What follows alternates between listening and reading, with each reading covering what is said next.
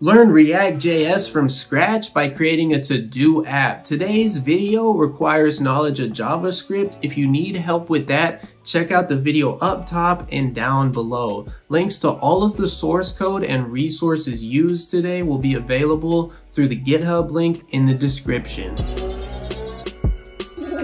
First, let's open VS Code. Here we can open the folder where we want to create this React application. Now we need to open a brand new terminal and more specifically a command prompt. And here we need to make sure that we have node installed by running node v. If you don't have a version showing here, navigate to nodejs.org and install node. That link will also be available in the description.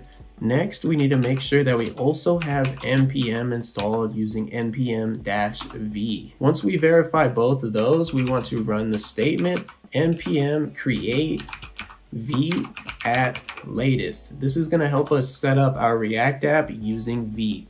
For the project name, we'll just say period, which is going to use whatever our directory name is here. For the package name, we'll just call this React to do app. And then we need to select a framework and we're going to be using React and then we're going to use basic JavaScript today. Now you guys can see some of the folders and files displaying, but we need to install our dependencies using npm install. This will take a second, so let it go ahead and run. Now you guys can see that everything was successfully installed and set up. To make sure our React app works, we need to run npm run dev, which is going to open our live server, and this will provide us with a locally hosted URL. If you guys are seeing all of this default Vite plus React content, you guys know that you set it up and installed it correctly. Next, I want to explain how this React application is working. So first in our SRC folder, this is going to be where all of our components are housed. The main component is going to be our app.jsx right here. This is a functional component since we're using the function keyword and up here at the top is where we import all of the stuff that we need, like our CSS file and the logos that we're displaying. Down here within the return statement is where we can create all of our content. You guys will see all of this stuff is what we're reviewing in our live server. Our main.jsx is going to be the entry point for our React code. This is going to render our main app component right here to the root element in our index.html. So in our index.html, you can see that root element right here is just a basic div with the ID equal to root.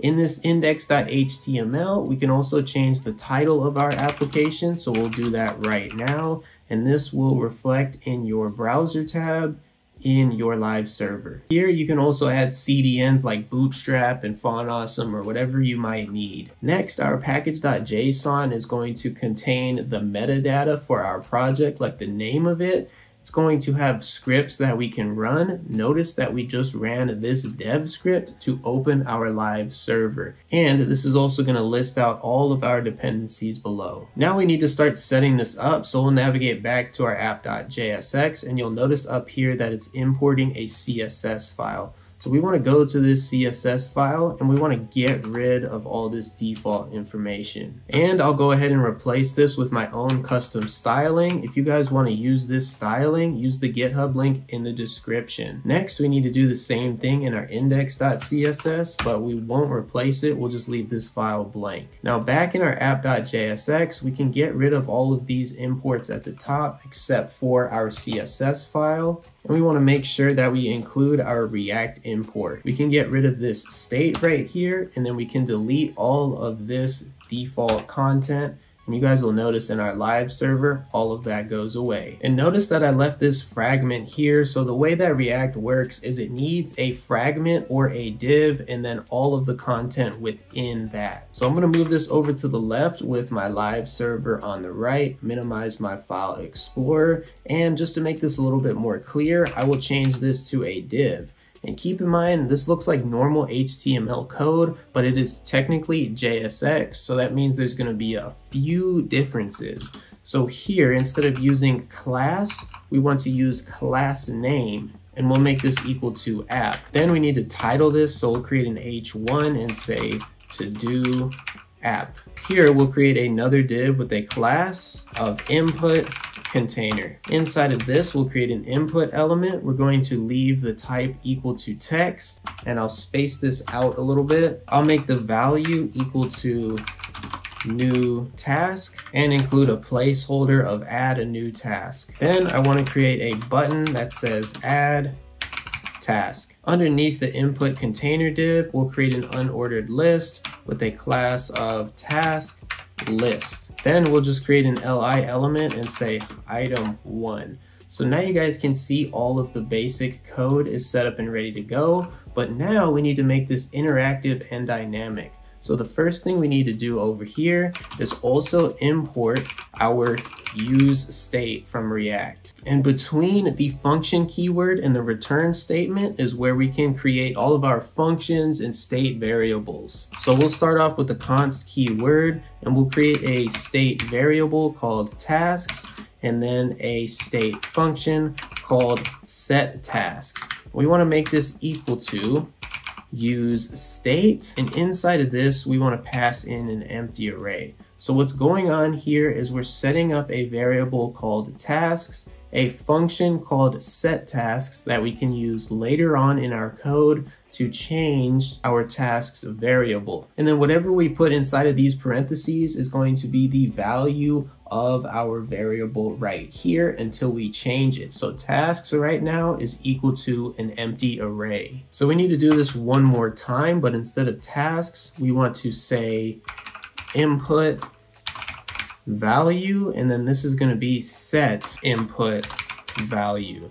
And instead of an empty array, we want to make our input value variable equal to an empty string. Now we want to create a function called add task. For this function, we're not going to include a parameter and we need to use an if statement and we're going to check our input value and we're going to see if it is not equal to an empty string, meaning the user has to enter something. We also want to use the trim method to get rid of any white space. So if the user enters something, we can call our set tasks function. And what we want to do is pass in a new array with anything that might already be in our tasks variable and also include the new input that the user just entered. You guys will notice that I'm creating a brand new array here. That's because in React, state is treated as immutable. So we need to create a brand new array from scratch rather than just appending a new value to an already created array. After that, we need to call the set input value function and just change it back to an empty string. Next, we want to create another function called delete task. And here we want to pass in an index so we can delete one task at a time. So we'll create a variable called updated tasks, make this equal to our tasks array. And what we want to do is use the filter method. Keep in mind, filter is going to return a brand new array. So here we'll pass in two parameters. The first is going to be the task, and the second is going to be the task index. And here we want to use the task index and see if this is not equal to the index that we're deleting. So what's going to happen here is we're creating a brand new array and we're excluding the task at the given index that we want to delete. And after that, we need to call set tasks and change it to our updated tasks variable. Now you guys are going to notice nothing's happening yet because we actually need to set all of this up within our return statement. So first we want to change the value to the input value and this is going to make our input a controlled input in React. Then we need to use an on change event listener where we pass in our event and we simply want to use the set input value function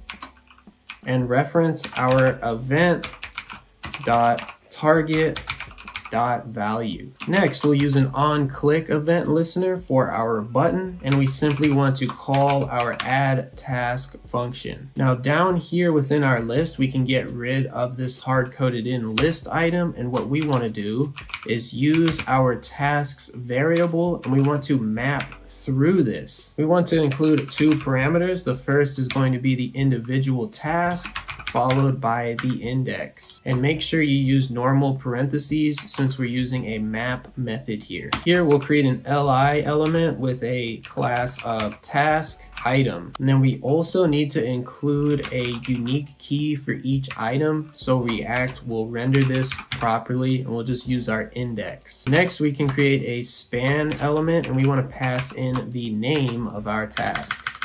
After that we need to create a button where we can delete the task. So all we need to do here is use an on-click event listener, and we just need to call our delete task function, and we want to delete that specific item with the index. And what we want to do here is reference our delete task function, and we want to delete it wherever that index is located. Now, if I make this full screen and I add a new task like shop and click add a task, it will render it down below within my unordered list. And since this has a specific index tied with it, we can click delete and it will delete just that item. So I'll add a shop back and then I'll add something like workout, add this task. So we can add individual tasks and delete individual tasks. Congratulations, you just learned React by creating a basic to-do app. If you have any problems or any questions,